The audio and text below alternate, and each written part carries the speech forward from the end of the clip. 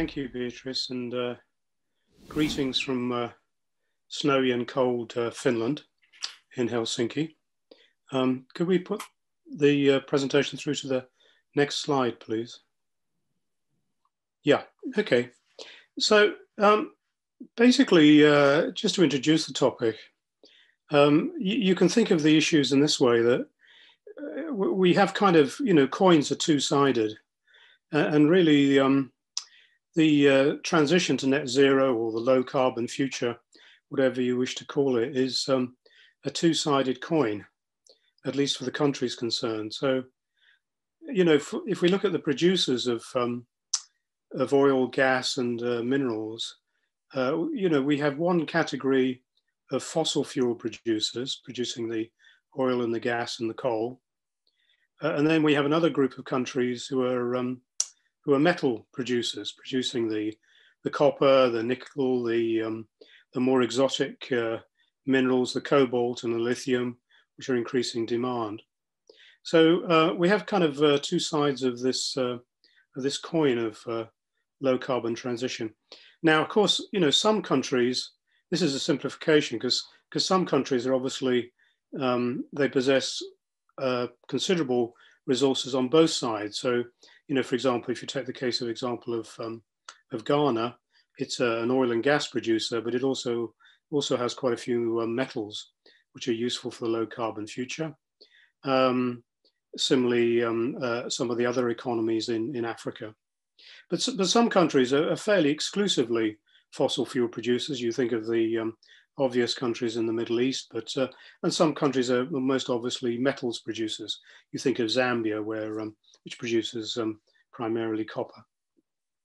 So how is this going to play out? So so if we think about the fossil fuel producers, um, and basically we're going to have a story where um, coal the use of coal is going to be stranded first. We're, we're still using too much coal in the global energy system, but we can expect some phase out of coal. So, you know, a lot of coal is, is simply going to remain ultimately in the ground. Um, coal is increasingly replaced by gas in energy generation. Gas has um, about half the emissions, but it's still uh, associated with, with climate emissions, including um, methane. So eventually, in a few decades, we'll see the phase out of gas as wind and solar take over. And of course, then we have oil. And oil is used in aviation fuel, and there's no great substitute for that at the moment. And of course, in uh, propelling vehicles. But again, you know, the electric vehicle revolution uh, will slowly uh, move uh, petrol driven vehicles out of the systems. So for fossil fuel producers, uh, you know, we see a, a, a transition in the markets, which, which are really quite profound. And many of them have actually built up their development trajectories um, on dependence on the revenues, uh, the fiscal revenues, the public revenues from uh, fossil fuel exports, and also their foreign exchange and so forth. Um, so for the fossil fuel producers, what we're going to see is that their public finances um, are going to be under um, pressure. Uh, to a degree, there's going to be a squeeze on the uh, tax and other revenues they get um, from uh, companies, or for example, in the case of a national oil company, from the national oil company. Uh, we've already seen, as it were, a, a kind of precursor of this uh, this year, the oil price, uh, the international oil price, collapsed below um, thirty dollars. It's now back up to sixty dollars, but um, you know, about uh, seven years ago, it was around about $130. So, you know, a lot of countries that made an assumption about the oil price are, are receiving um, very bad, uh, very bad news on their public revenues. And of course, that will affect their development spending, their ability to spend on uh, social uh, policy and education and so forth.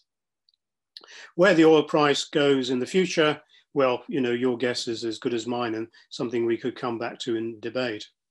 Um, to a degree, the gas producers, as I said, are in a somewhat better position.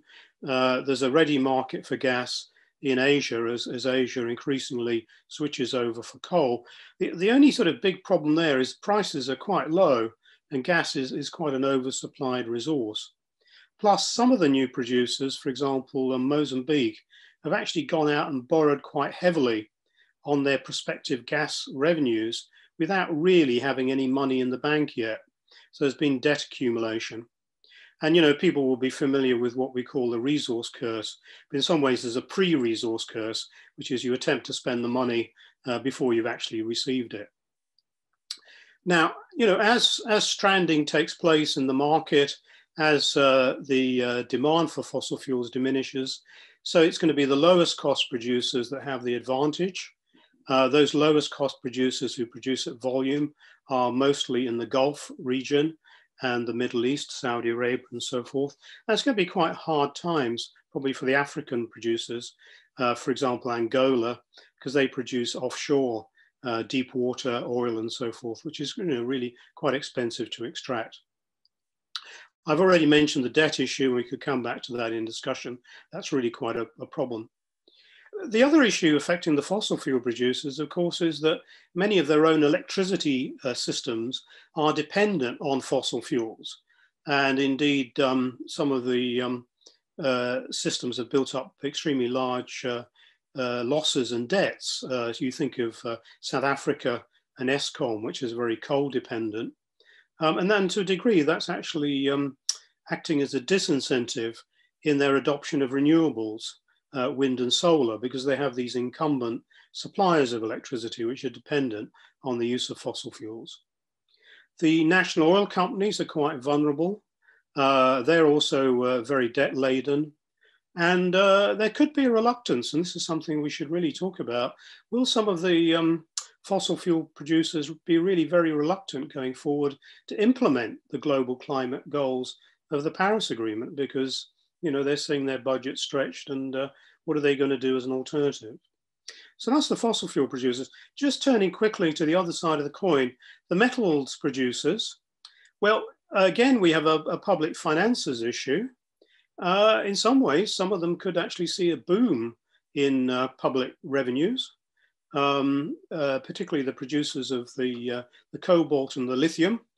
Uh, if you're uh, producing cobalt, then Tesla will beat a, a path to your door because it needs uh, extremely large amounts of uh, cobalt and lithium for the batteries, similarly nickel and so forth. But metals, metals, uh, it's, it's, a really kind of boom and bust cycle. One of the um, uh, interesting things about the pandemic is, is actually um, metals prices, many in many cases, are, are higher than before the pandemic because the market is looking forward to increasing demand how the mineral producers, the metals producers manage those public revenues is going to be a big issue because, of course, there's plenty of uh, unfortunate experiences in the areas of extractives where countries have mismanaged their revenue booms. So, you know, public revenues, you can have a problem with um, insufficient public revenues, but sometimes you can have a problem with too much revenue too quickly, and then you're tempted to blow the money on all kinds of um, ill-designed projects and expenditures.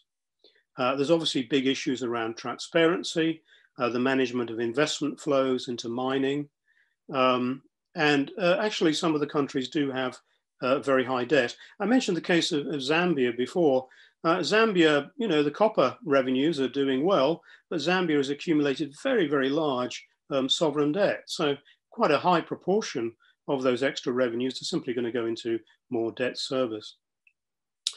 Finally, I'd just like to finish on a, a few points. When, when, we look at the, the mining industry, we have to understand that the mining industry is changing quite rapidly.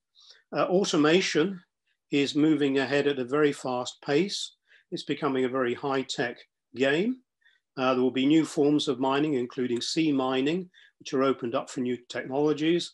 That could have all kinds of unfortunate environmental effects if it's not, uh, if it's not uh, well managed. Uh, automation will also reduce the demand for labor uh, in some uh, countries and will affect the social license to operate uh, because communities will see less employment as mines become more, more um, automated. And there are also issues around artisanal and small scale uh, mining as well and the regulation of that. So the big question about the mining industry as it, uh, as it uh, expands to um, provide mine uh, minerals for the low carbon revolution is, is how we're going to get more development and poverty benefit from the, um, from the extractive industries, how you're going to cut emissions, and the social harm that's often associated with mining and uh, how we can all monitor the global value chain in mining uh, going forward. So a massive number of exciting and interesting issues that cover both development, uh, they cover environment, they cover climate change, and they cover the geopolitics of where we are coming out of the um, pandemic. So thank you very much.